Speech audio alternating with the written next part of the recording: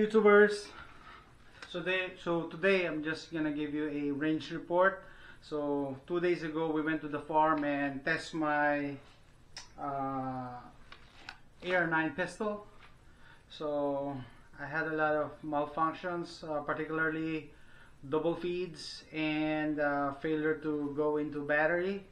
And then today, I mean this morning, I realized that the the bolt is not going all the way back. When you rack it it's hitting something. So it's not now it's doing it because I do not advise you to do this. Do this at your own risk.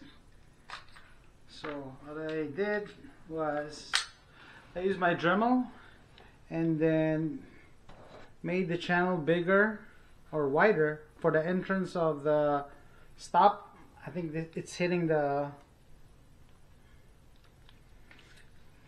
hold on I'm gonna show it to you. I don't know if you can see it. Okay. This and now it's working. And then immediately I also ordered um, a set of Accu-Wedge uh, for for this. I'm gonna put one here and the others in my AR other ARs because I, I realized that when I don't lock it I can rack it back freely. And then when I the moment you lock it it's hitting something. So it means it's slowing down a bit. It's going down a bit and hitting whatever it is so but now I made the channel so it made it run. Okay now it's hitting something okay?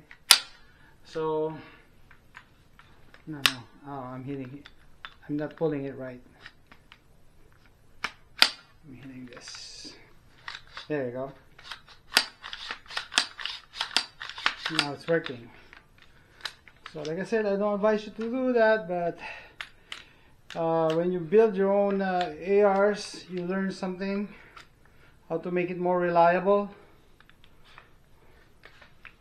So there you go. And then I'm gonna re-blue it or whatever to prevent it from rusting.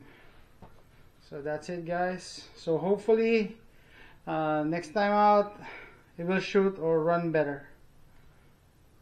That's it for now guys. Thanks for watching